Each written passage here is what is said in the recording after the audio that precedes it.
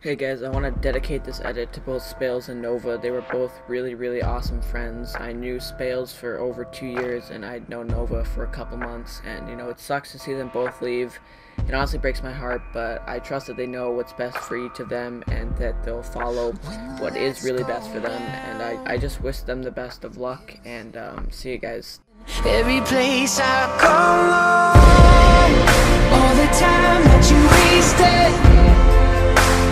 Even if Running down a lonely road.